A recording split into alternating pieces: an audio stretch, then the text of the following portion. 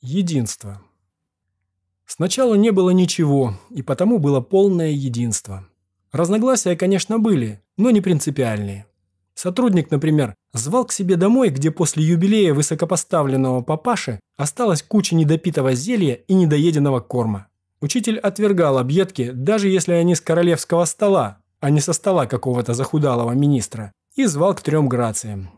Кис говорил, что дети не отвечают за родителей, и звал к сотруднику, где намеревался быть представленным министру и высказать свои соображения. Для этой цели он даже выучил пару латинских цитат о законах. Распашонка настаивал на забегаловке поближе к его дому. Кис, как всегда, ныл, что у него на этот раз нет денег с собой, и клянчил закурить у всех подряд. Все знали, что деньги у Киса водились порядочные, так как он был скуп и копил на дачу. Но это было милое чудачество. Да и много ли нужно на одну-другую кружку пива? И Крикун, заработавший накануне на разгрузке вагона с картошкой десятку, говорил, что он угощает. Разногласия наступили позже и совсем по другой причине. И еще не тогда, когда Кис перестал пить и курить чужие сигареты, сослуживец защитил диссертацию, мыслитель стал референтом, сотрудник приобрел еще более шикарную, чем у его ушедшего на персональную пенсию папаши квартиру, Супруга пару раз съездила за границу, Болтун дважды лишился работы, учитель... А еще позже, когда четко определилось не только различие положений и образа жизни, но и мировоззрений. Когда сотрудник, приказав привести крикуна, спросил его имя, возраст, род занятий. А тут разногласия быстро урегулировали и направились к трем грациям. Пока ждали пива, поносили начальство и рассказывали анекдоты.